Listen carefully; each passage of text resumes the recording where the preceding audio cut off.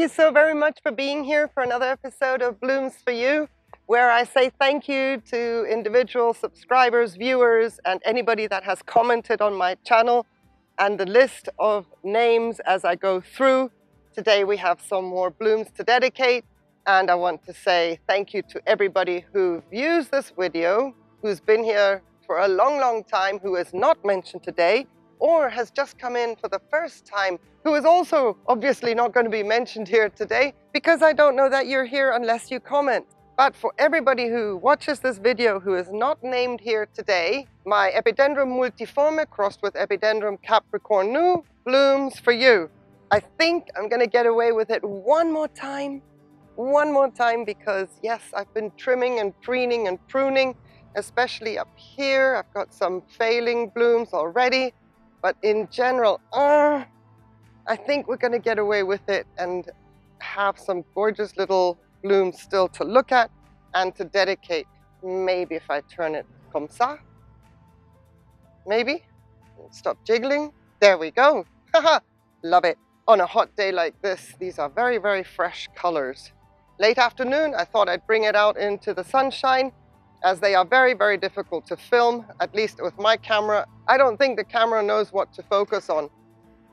Try this. Cute, no fragrance.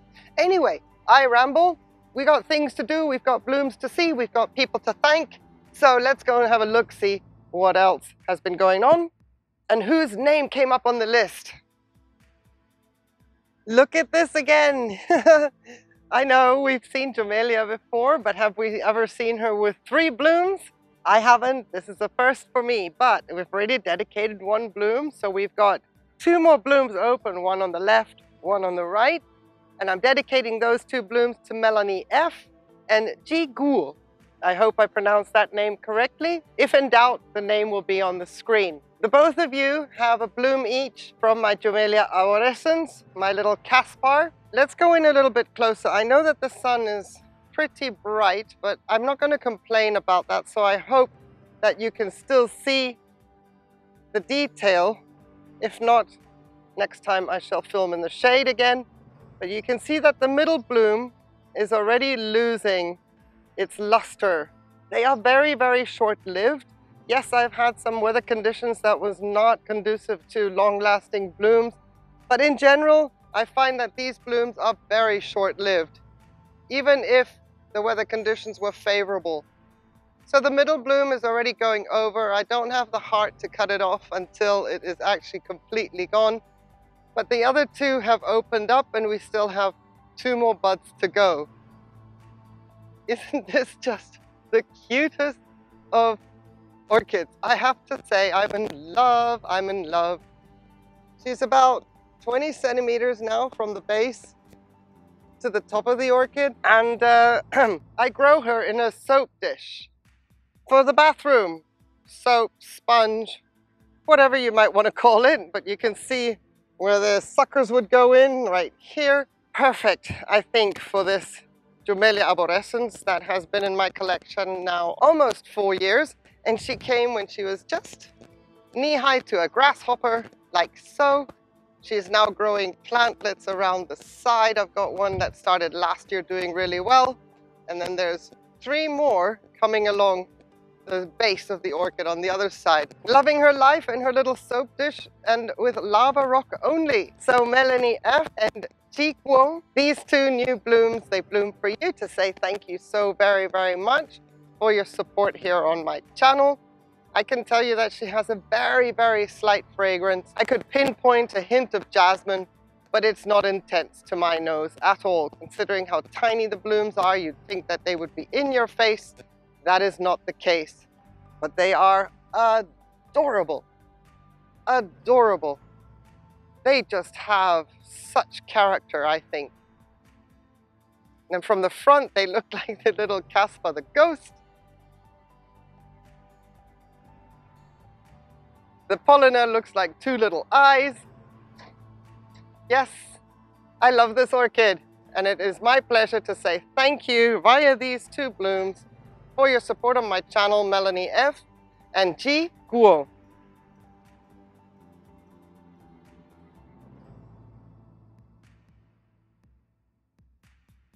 Going from one cutie right to the next cutie. Also with a long spur, delicate blooms, but this one is fragrant, like a beautiful, beautiful breeze of jasmine, lemon, and honeysuckle. It just wafts in your face in the evening. I would like to call it La Dama de Noche, but we have that kind of a tree here, Lady of the Night. But this one, oh my goodness, when La Dama de Noche is not in bloom, Neofinetia falcata has that magical, magical summer fragrance that hangs in the air at night. It's gorgeous. Leanne W. I have given away one spike. This is the first to open. This one was the second to open. And here we are now already with the third spike opening. And this one, Leanne W, is for you. These cute little blooms on that spike, they bloom for you to say thank you to you so very much for your support on my channel. Oh, they are so cute. At least what I see through the viewfinder, thank you. I have a little bit of a cloud cover coming through now. That helps a lot. They are just adorable. I like me my big blousy colorful cattleyas and all the very, very unique blooms. But this, the simplicity of a neofalcata, there is just something so magical and whimsical about it. And when you think of the fragrance that comes with it at night, Leanne W., I want to say thank you so very, very much for your support on my channel. I really, really appreciate the fact that you're here. I hope that you're doing well in your part of the world. And I also hope that eventually you might get around to seeing this video and know that these blooms from my third spike of my Neofalcata, they bloom for you.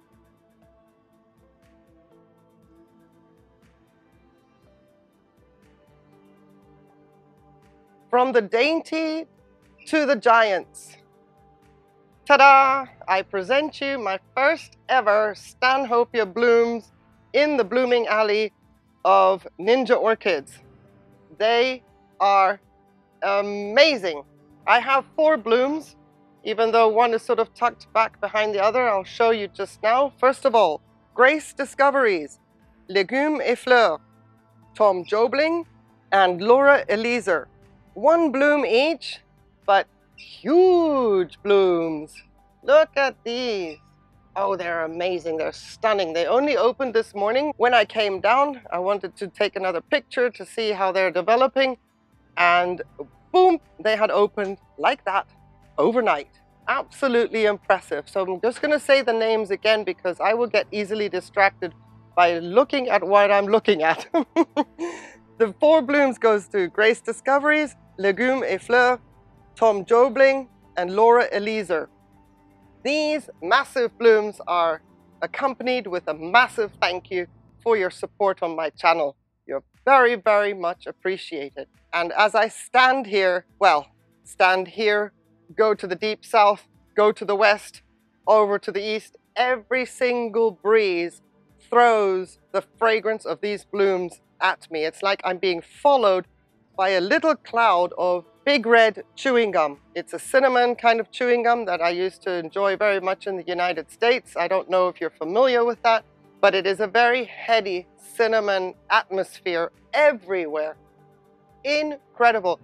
If this were in a grow room in the house, I would probably have to open doors and windows to be able to tolerate it. But outside, with the breeze flapping around everywhere, I am never without this fragrance.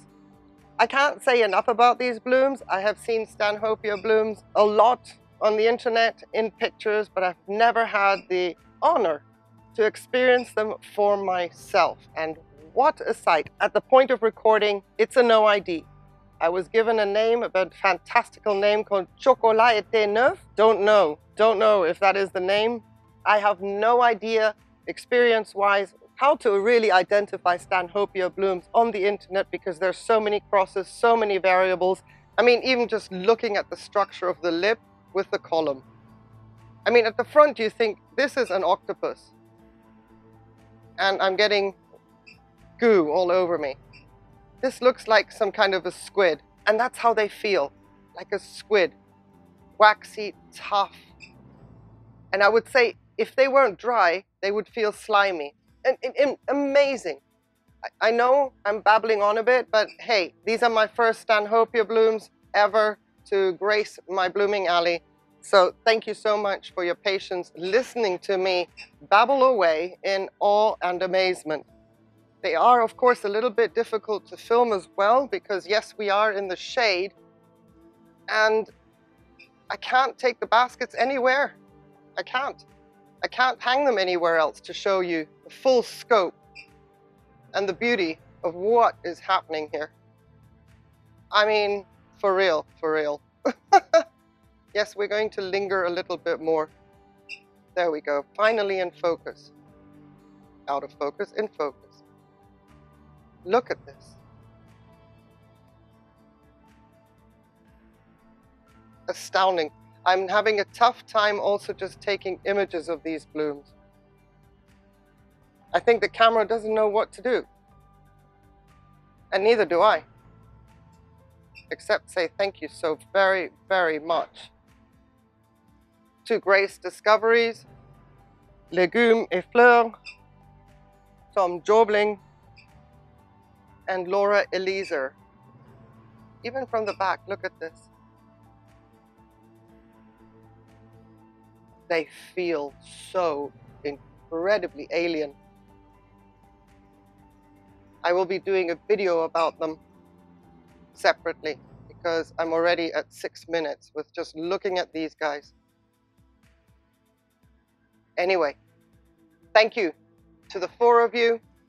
My first Stanhopea blooms that smell of big red chewing gum. Massive thank you with massive blooms.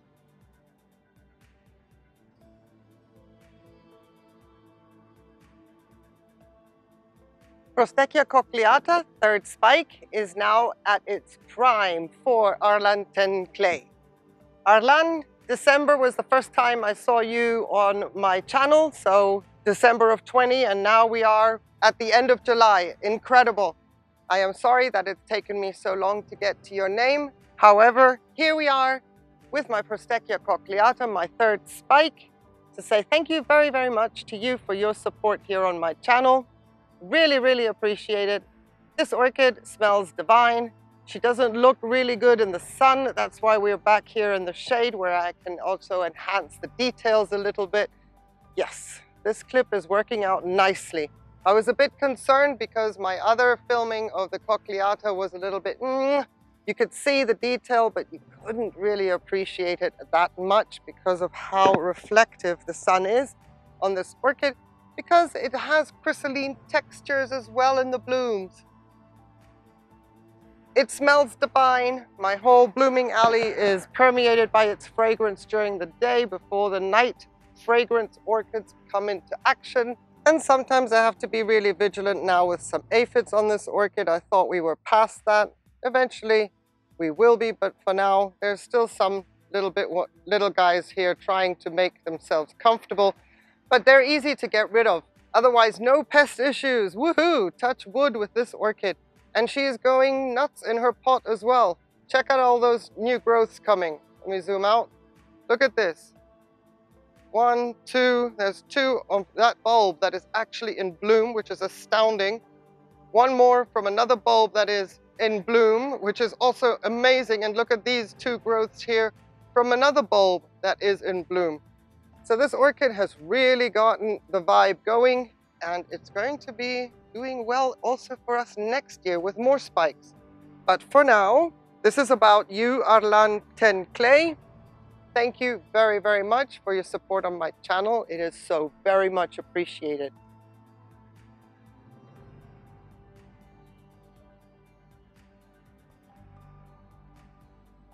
Frank, that's it. Frank. Phylogeny Lime Bay, the third bloom has opened. It's been open now about five days. I am very glad that I have a day that isn't blowing a hoolie out here and I can put her outside in the late afternoon sun so that I can film her and dedicate this bloom to you. Thank you, Frank, very much for your support on my channel. Very, very much appreciated. I mean, Phylogeny Lime Bay is one of those blooms on my channel that just goes around and around and comes and goes, especially now with her sequential spike. every two or every three weeks, she will pop up again and I get to dedicate another bloom. This time it's the third and the fourth one is already starting to form in the back. Oh, but she is so pretty. I love it in this afternoon light. You can really appreciate more of the detail, the translucent petals and sepals. And I don't know if the camera's picking it up, but there's a little bit of a crystalline reflection in those petals and sepals, but it's more transparent than anything else. Absolutely beautiful. Love. Not so much the fragrance. Yes, I'm going to repeat it for everybody who's been on my channel and now knows what this smells like. But if there's anybody new out there, well, let me tell you, as gorgeous as she is, she smells like a dusty room. And no, it's not unpleasant, but it's a fragrance you just want to go and open a window to let some fresh air in, and everything's going to be okay again. That's what she smells like. Incredible. Absolutely incredible. The delicacy of this bloom is remarkable, and that is only a visual of her. She is pretty, pretty tough to the touch. Love it. But what I also love, and I hardly show, is leaves. Oh my goodness. A beautifully healthy, no marks Sologeny leaf. Fresh green. Gorgeous. And I just wanted to show that because in my climate eventually, these kinds of leaves look like this as humidity drops and heat rises which is a big, big shame, but that's why I'm showing you this leaf right here. Yum. Anybody there for a salad? Yeah, anyway, Frank, thank you very, very much for your support on my channel. My Sologeny Lime Bay third bloom blooms for you.